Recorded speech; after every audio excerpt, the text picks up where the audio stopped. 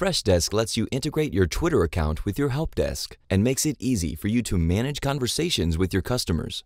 Once you set it up, your team can respond to tweets and monitor activity from inside Freshdesk. To get started, log into your help desk as an admin. Go to the Admin tab and under Support Channels, click on Twitter. Here, you can set up different rules to monitor Twitter in two ways. One, by adding accounts to keep an eye on mentions and direct messages, and two, by adding streams to monitor other generic keywords from across Twitter. To add your handle to Freshdesk, click on the Add Twitter Account button.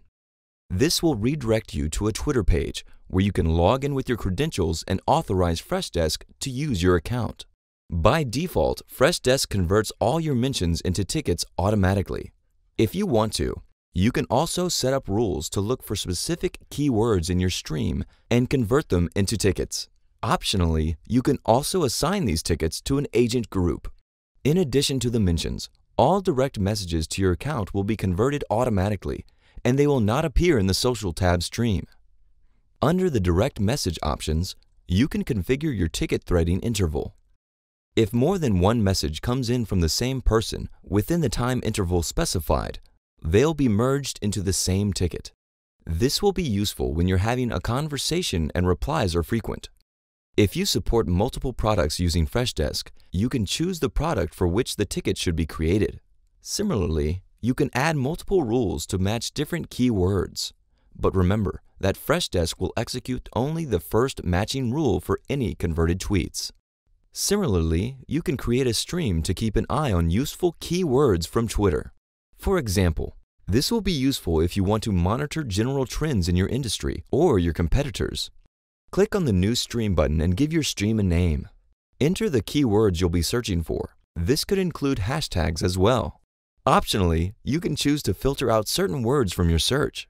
This feature will be useful if you want to filter out general tweets that aren't relevant in thank you replies from your customers. You can also direct tweets from specific handles to appear on your stream. If you've added multiple accounts, you can select your default reply handle from the drop-down. You can also specify to which agent groups this stream will be visible to. Once you're done configuring your settings, you can go to the Social tab and check out all the account, as well as streams that you set up in your help desk. All your incoming tweets can be seen on this page.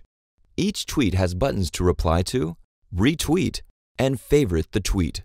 To view interactions with a particular user, you can click on the tweet and it'll open up the Interactions panel. If you click on Other Interactions, you can see previous interactions from the same user. If you find something that needs a follow-up, you can manually convert specific tweets into tickets. Tickets which have been converted from tweets will have this button highlighted in green, and when you click it, it will take you directly to the ticket. The Compose Tweet box on the right allows you to directly tweet from within Freshdesk. If you have multiple accounts, you can select which account you want to tweet from. If you require any more assistance, feel free to reach out to Freshdesk support.